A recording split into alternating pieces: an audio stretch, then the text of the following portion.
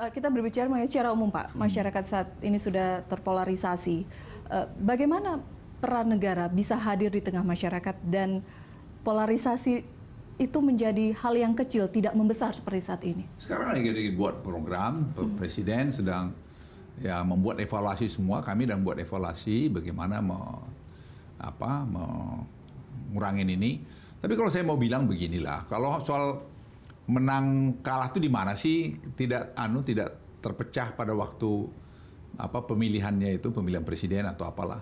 Tapi kan berjalan waktu nanti akan kembali. Karena apa? Kepentingan kita satu. Apa itu mm-hmm. NKRI? Mm-hmm. Jadi saya pikir juga jangan terlalu di apa namanya dirisaukan, ditakutkan mengenai ini. Okay. Saya pikir dalam waktu tidak terlalu lama juga akan tambah baik ya. Tapi tentu harus ada langkah-langkah yang konkret untuk mempercepat itu. Misalnya peran sosial media hmm Ya jangan sosial media berita-berita apa palsu ya dibilang, "Oh, Luhut Panjaitan punya 140 ribu hektar tanah," katanya. Waduh, saya bilang hebat juga saya. Mm-hmm. Saya bilang kalau ada tuh kau ambil aja gitu. Mm-hmm. ya udah bikin ada lagi tulisan seksi killer. Mm-hmm. Luhut anu gini loh. Saya nggak punya itu kok. Yang saya punya cuma satu dari berapa yang disebutkan itu. Mm-hmm. Dan itu semua dapat penghargaan semua. Mm-hmm. Ya tidak ada seperti itu. Saya kaya lah, tapi nggak kaya-kaya seperti yang disebut-sebut itulah. Baik, baik. Ya, Mbak, uh, saya saya mau nanya karena ini lagi ramai Pak. Uh, per siang ini ada informasi hmm. beredar kemungkinan reshuffle usai Lebaran.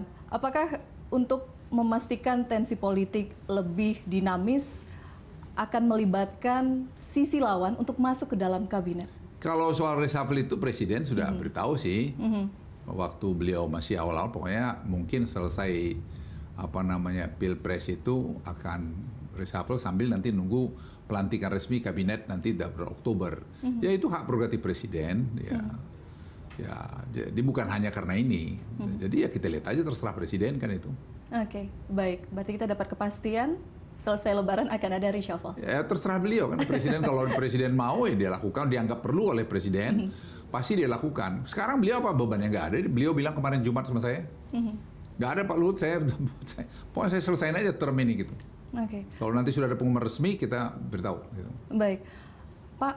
Terakhir kita ingin meminta Pak Luhut menyampaikan ke pesan kepada Pak Prabowo sambil menanti pertemuan silaturahmi selanjutnya, makan siang selanjutnya, apa yang ingin ya, Anda sampaikan? Saya sudah sampaikan itu tadi kan sudah. Mm-hmm. Ya, saya kira Pak Prabowo itu ya biarlah Pak Prabowo yang saya kenal dulu lah. Jadi, yang kedua saya titip pada orang-orang sekitarnya, Jangan dipojokkan orang, diojok-ojok dengan informasi yang tidak benar.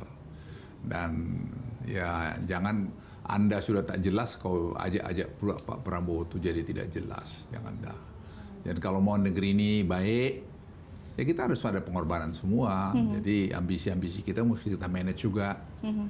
Yang keempat, kalau memang ada yang salah, tunjukkan salahnya dengan data.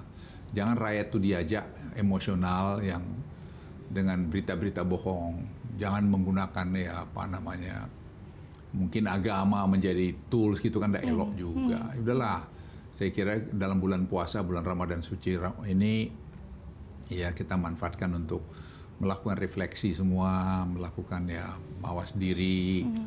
ya untuk kita lihat eh apa sih gitu loh. Hmm. Ya, kalau kita melakukan itu dengan baik, ya semua kita lah jangan jangan satu yang dulu dari Pak Jokowi atau Pak Prabowo saja, semua kita.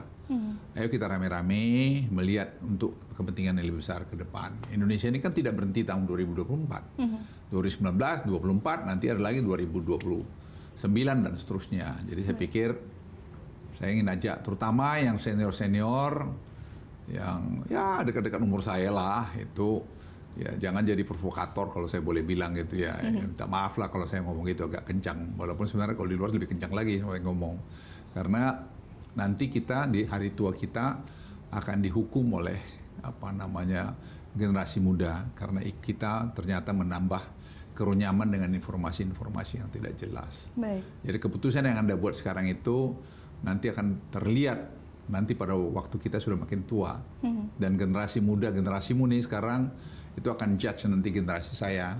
Baik. Apakah generasi saya ini bekerja dengan hati untuk NKRI hanya karena atau karena nafsu kekuasaan. Mm-hmm. Nanti waktu akan bicara. Baik, berbicara mengenai keputusan Pak, saya ingin singkat saja.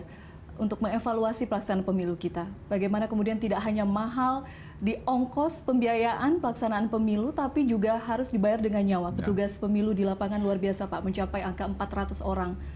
Bagaimana pandangan seorang Luhut untuk lima tahun ke depan? Idealnya proses berdemokrasi di bang. Ya, di saya pikir ini. mungkin kalau ini, anu ya, tujuannya sih baik ya, tapi mungkin terlalu padat begini sehingga menimbulkan uh, peristiwa-peristiwa yang sangat tidak kita kendali dan kita turut berduka cita atas kejadian itu dan saya kira presiden juga sudah merintahkan untuk memberikan santunan apa semualah itu dan saya pikir sangat anu sedih jadi jangan lagi kesedihan keluarnya kita tambah lagi dengan kita ber berkelahi sendiri. Dan kita jangan saling menyalahkan. Ini pemerintah begini ini anu tidak perlu. Yang buat itu kita semua kok.